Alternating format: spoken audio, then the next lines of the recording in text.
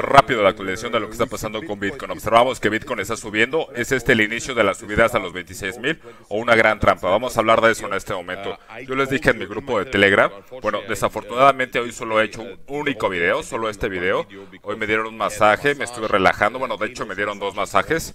La situación es que observamos una enorme subida, una enorme subida en este momento.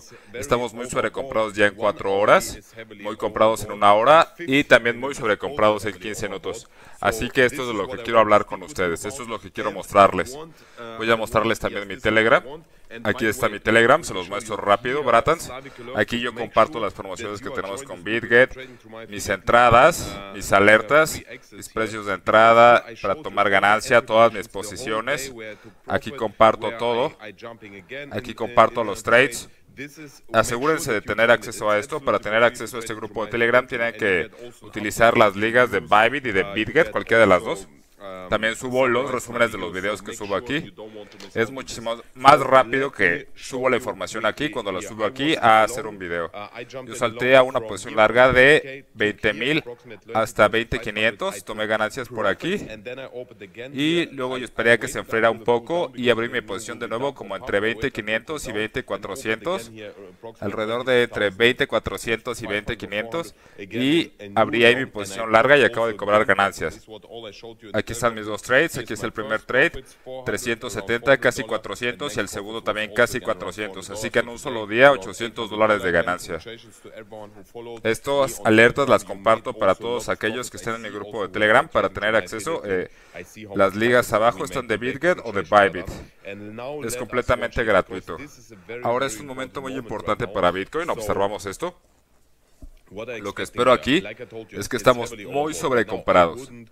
Yo esperaría un poco para poner la posición larga, porque estamos muy sobrecomprados en todos los tiempos.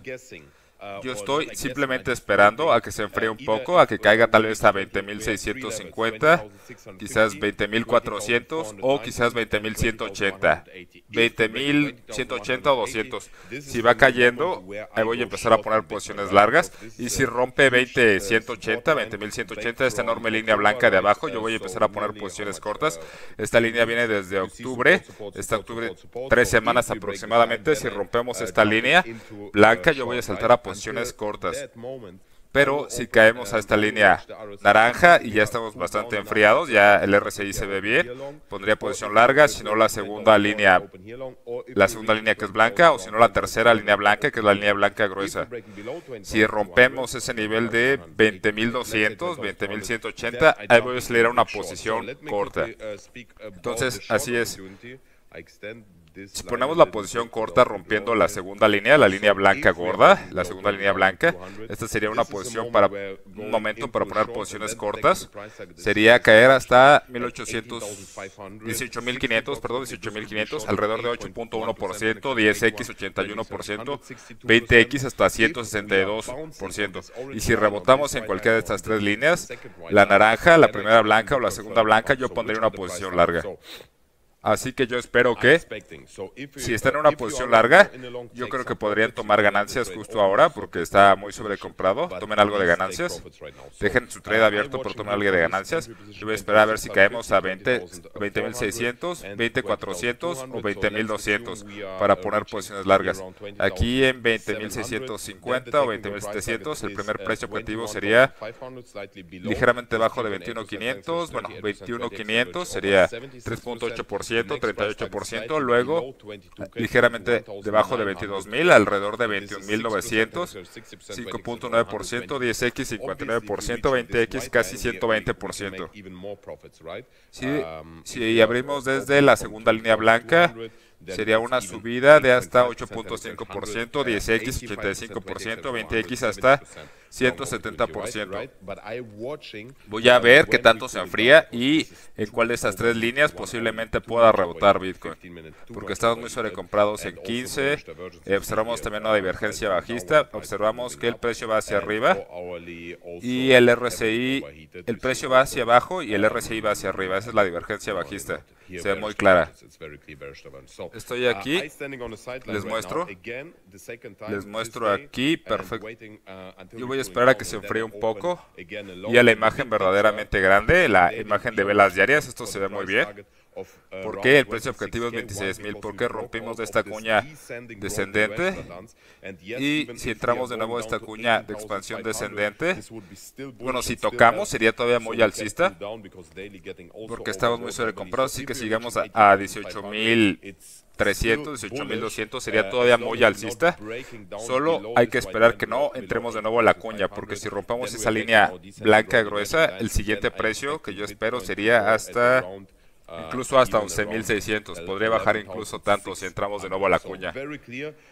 Ahora, 26.000 es nuestro precio objetivo desde hace varios días, incluso unas pocas semanas. Yo les dije, recién rompimos esta cuña de expansión de ensanchamiento, esta cuña de ensanchamiento descendente.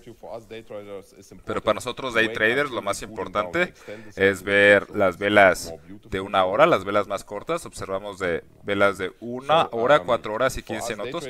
Ya tenemos muy claras las entradas, estas tres líneas. Esta línea naranja, esta línea, primera línea blanca alrededor de 20,400 y luego la segunda línea blanca alrededor de 20,200. La línea naranja es alrededor de 20,700.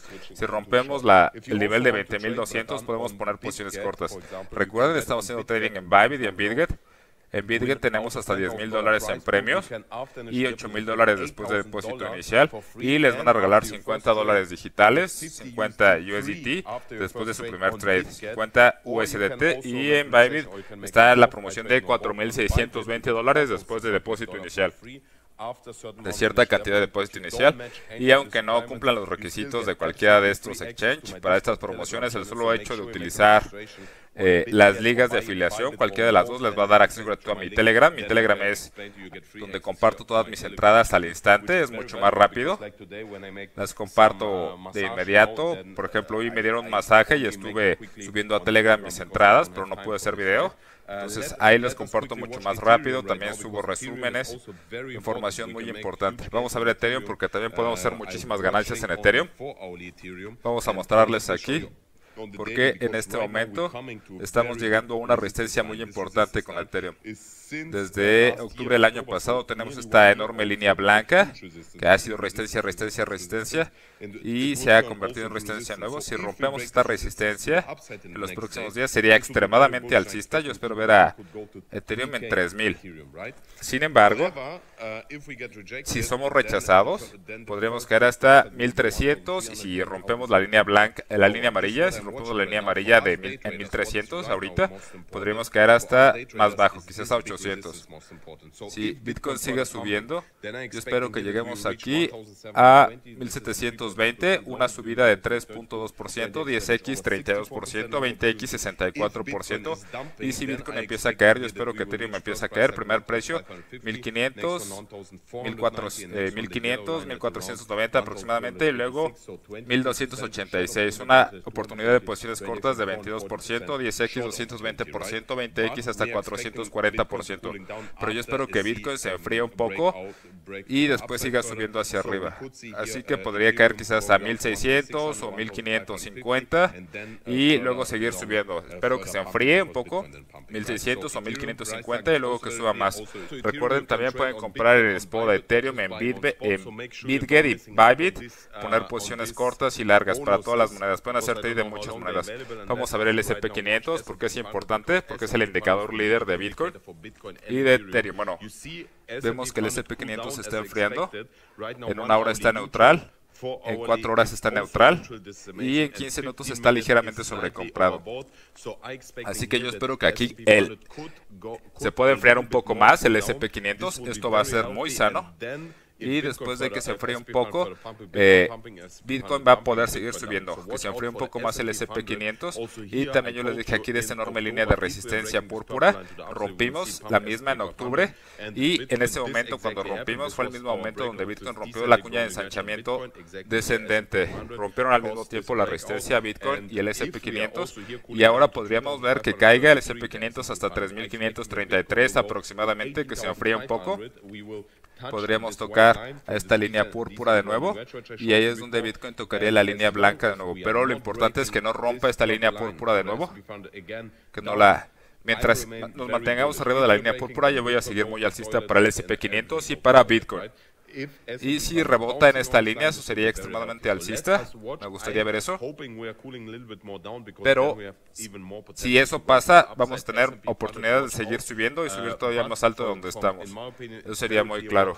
Si toca la línea púrpura, sería cuando Bitcoin alcance como 18.500. Pero a corto plazo, yo estoy esperando que se enfríe un poco que se enfríe un poco, que caigamos primero a esta línea naranja en 20.700, luego 20.400 la primera línea blanca y luego 20.200 la segunda línea blanca. Podría, quizás nunca caiga esas líneas y seguir subiendo, sin embargo, ahorita estamos muy sobrecomprados y es mejor ser pacientes, esperar que perder dinero simplemente por ser muy atrabancados. Así que mejor hay que esperar un poco que se enfríe. Escriban un poco eh, abajo, dejen sus comentarios en español o en el grupo de Telegram. Se responden también los, los comentarios en español. Vaya, Dios, los quiero.